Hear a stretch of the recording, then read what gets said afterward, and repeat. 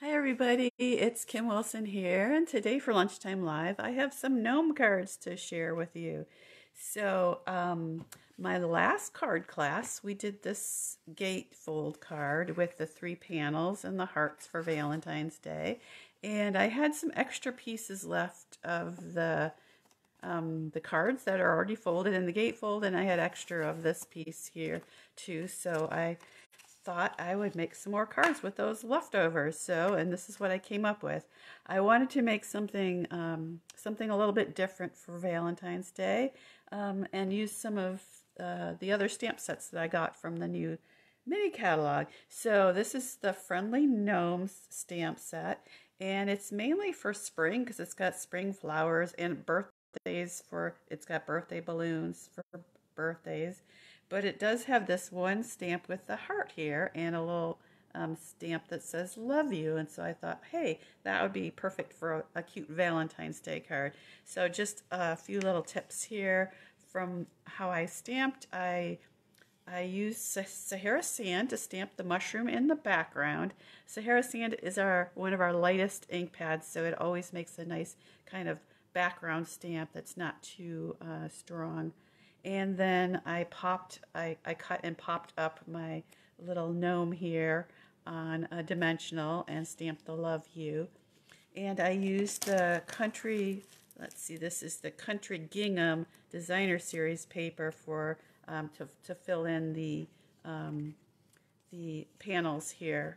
So some pretty um, uh, it's petal pink and sweet sorbet colors here. And I wanted to show you how I did this little heart here.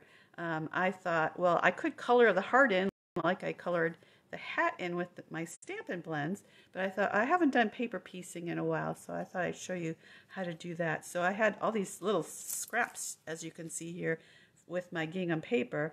So I just took that gnome and stamped him a few times on my scrap here and I just need the heart.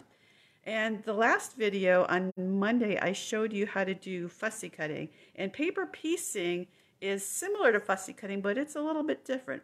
For fussy cutting, we cut and leave a kind of a border around the image that we're cutting out. But for paper piecing, you want to cut either right on the line or maybe even slightly inside the line when you're cutting out the image.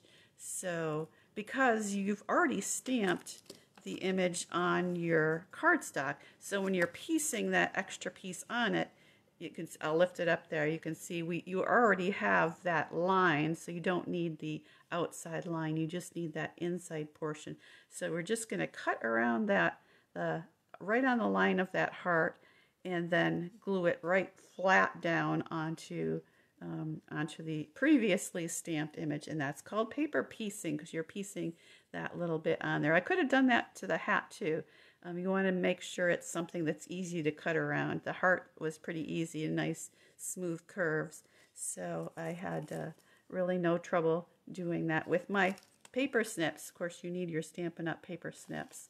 Okay, so there's that cute little project for Valentine's Day. And I wanted to show you this today because I noticed um, that the gnome dies are in low inventory. So I'm not sure. I, they do have another batch coming in. I asked um, to make sure that the, they weren't going to be totally out of stock because they are um, um, still still available and another batch coming in, but I don't know what the, the timing will be on that. So they matched a Christmas stamp set, and then they also matched this Friendly Gnomes stamp set.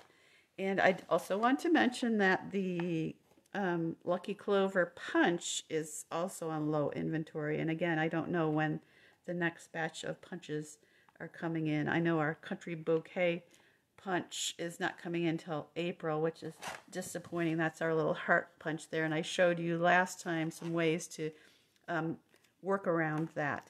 And here, here's some fun um, Valentine's cards. And I will be posting today, this afternoon, all the rest of my Valentine's projects on my blog, craftdoc.com. So I hope you'll check them out there and hope you got some good ideas today. Happy crafting!